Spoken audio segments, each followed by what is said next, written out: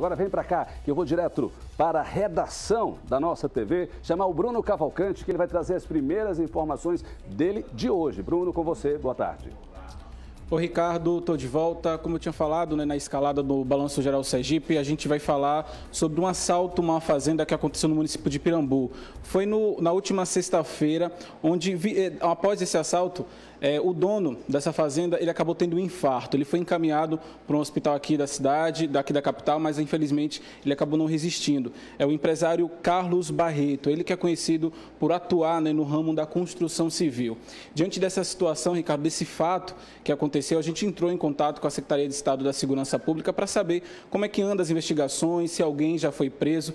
A CSP informou que no momento ainda não, que ninguém foi preso, mas que a delegada que está à frente do caso, que é a Eliara Santos Farias já está realizando as investigações, ouvindo testemunhas. Ela pede, Ricardo, que as pessoas que tenham alguma informação sobre esse assalto possam entrar em contato pelo Disque Denúncia 181.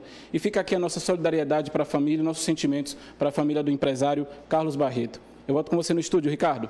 Obrigado, Bruno Cavalcante, por suas informações. Lamentável esse caso e a gente pede a Deus que possa confortar os familiares deste caso assim que chama muita atenção, é violência, é assalto. Fala nisso daqui a pouco, a gente vai conversar com o coronel Maurício Yunes sobre esse assunto de segurança pública aqui em nosso estado.